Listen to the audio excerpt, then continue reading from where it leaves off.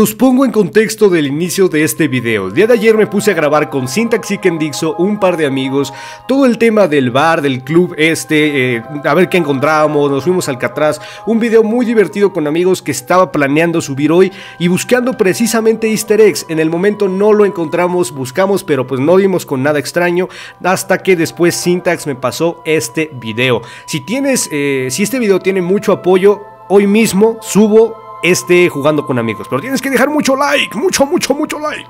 Y, y no, Ah, no- no sabemos de alguna recompensa que podamos obtener aquí, este, pues, de alguna manera. Amigos, pues resulta que sí lo había, sí había un easter egg ahí, yo sabía que tenía que haber algo sí o sí, en el momento no lo encontramos porque pues estábamos simplemente pues divirtiéndonos y sin más, pero bueno, vamos a hacerlo en este momento, por cierto me lo pasó mi amigo Syntax, con el que mismo con el que jugamos, él, él lo miró y, bueno, ahora vamos a seguirlo porque tú sabes que yo para hacer esto solito soy un poquito inútil.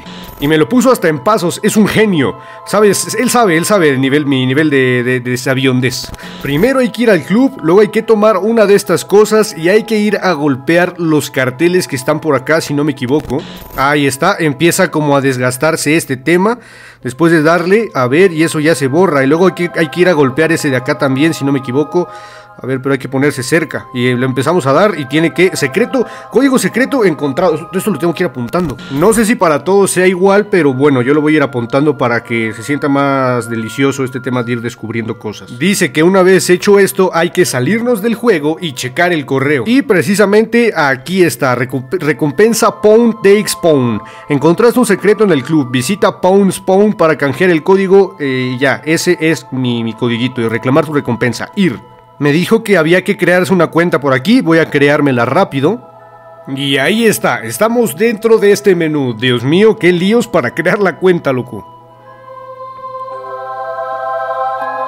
Ya le damos aquí, le damos aquí a, Terminal, es como una especie de sistema de, de programación, algo por el estilo, con razón le gustó tanto al Syntax. Y hay que escribir aquí el código SORC, pero me gustaría saber de dónde sale eso. Uy, entramos aquí. Y después tenemos que ir poniendo estos códigos Go North. Eh, eh, eh, tú los estarás viendo en simultáneo en la pantalla. Go Up, Grab, The Egg. Uy, tenemos ya Achievement Unlocked. Easter Egg, perfecto, lo tenemos de momento amigos. Luego hay que seguir Go Down, Go South, Go East.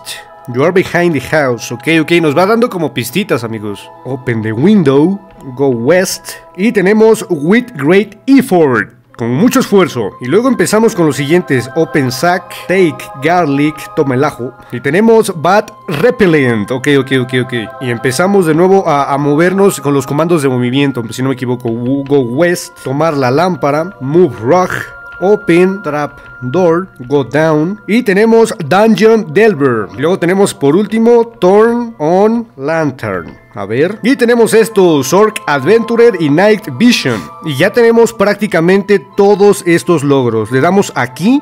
Y aquí es donde tenemos que sacar nuestro papelito con nuestro código, amigos. A ver si nos funciona. Pero por supuesto me dice que no es válido en este momento. No sé si alguno de ustedes que ya hicieron el easter egg, si les es válido o algo por el estilo. Pero de momento creo que a nosotros... No, una pena, algo que me hubiera gustado que fuera válido, pero, pero en fin amigos, en fin, ni modo.